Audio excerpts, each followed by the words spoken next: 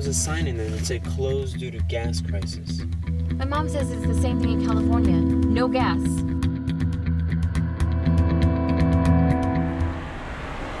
What are you talking about? Who's holding out? on us? Pakistan or Afghanistan. I don't think we can get home. Hey! Hey! Did you miss the turn? We turn? can't go back now. It's definitely not an option.